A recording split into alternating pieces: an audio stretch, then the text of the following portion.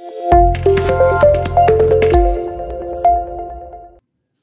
Actor Kartik Aaryan के career में दो फ़िल्में ऐसी रही जिन्होंने उनकी पूरी लाइफ ही चेंज कर दी। पहली, सोनू के टीटू की स्वीटी, जिसने उन्हें ए लिस्ट एक्टर्स की कैटेगरी में लाकर खड़ा कर दिया।